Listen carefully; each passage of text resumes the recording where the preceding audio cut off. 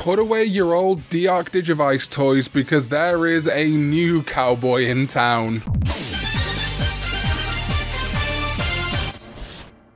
Is up everybody, welcome back to another video, and I really did not think we were going to be talking about Digimon news this soon before Digimon Con on February 27th, which I will be reacting live to by the way on twitch.tv forward slash Karn underscore EX. Digimon has just dropped information that they teased a few days ago on a brand new premium Bandai Super Complete Selection Animation D-Ark Digivice. And I just have to talk about this because this is one of the coolest Digimon toys we have seen in quite some time. The Super Complete Selection Animation D-Ark comes in red, blue, and green, of course Takato, Rika, and Henry's colours. And these new Digivices are absolutely gorgeous. They are as screen accurate as I think any Digivice toy has ever been. And they have wonderful full colour screens. I was a little bit worried about them when they were first being teased like a couple of days ago by Digimon because as much as I really liked the D3 complete selection animation, that weird mirrored screen thing just was no good in my opinion. This is much better. This is the most screen accurate Digivice. Because it has Digimon Search, because it has the Digimon Analyzer, you can actually see Guilmon and all of that animation that you see in Tamers. It's crazy. And the Super Complete Selection animation versions are actually bigger than the version 15th D-Arks as well. It appears to be an LCD screen set inside the Digivice, so it might actually be a square screen, but it looks circular, just like in the show, and the quality on this thing is absolutely amazing. Like I say, probably the best looking Digivice toy we've ever had. In addition, each D-Ark comes with 10 cards, and the way this works is really cool because they are actually scannable with Card Slash because each card contains an NFC chip, to the point where if you scan the blue card, Matrix Evolution actually comes up on the Digivice screen. So this is all really great, but there are a couple of downsides you do need to be aware of. First of all, this is currently premium Bandai Japan only, meaning you will need to find a proxy service willing to import this for you. Something like From Japan, Hobbylink Japan, possibly even Zenin TCG, don't know whether they're doing that yet. The other major thing you need to know is that this is not like a Digimon VB or a conventional Digivice or even VPET toy. The complete selection animation line does not have any of like the adventure modes or any of the step tracking, etc. that you would expect from other VPETs. This is really just a shiny prop. It's an incredibly screen accurate prop, but do not expect any kind of like gameplay here. It is not a VPET, it is not a Digivice. So if you are interested in getting this, please do bear in mind that it is very much a toy or a prop and not something you can have actual gameplay with. But if you're a big fan of Digimon Tamers and you like roleplay items like I do, sounds kinky, don't mean it to be. I can see this being appealing, especially at the price point of 14,300 yen, roughly 140 US dollars, or about 98 British pounds. It's definitely expensive, but for what it is, that's quite a good deal, even if it is missing those gameplay features that I would like. Ultimately, I'm very excited by this news. I think it's a great toy, but I kind of am wondering why they didn't drop this during Digimon Con. Perhaps because they wanted those pre-orders to be out, and maybe because something even more exciting is coming at Digimon Con. It's very possible. And again, I'm a little bit disappointed if they're going to give it a screen, if they're going to give it NFC card slashing, if they're going to give it buttons that you can interact with, why couldn't it have some kind of adventure mode? Like imagine a full color version of the adventure mode that you can get on these Digivices. That would be so good. So despite what I said in the intro, I don't think this is necessarily a replacement for your existing D-Arks, but I do think it is a very good, high quality screen accurate replica. But if you're looking for something with more interactivity, get something else, either a Digivice V or an old one of these D-Ark toys. But hey, let me know what you think of this new Digivice in the description down below. Are you going to try and get one or are you not as interested because there aren't those gameplay features? Let me know all your thoughts and more in the comments down below. Make sure you follow me on Twitter and Twitch because like I say, I will be covering all this new Digimon news that's going to be coming out over the next month or so. And I'll see you next time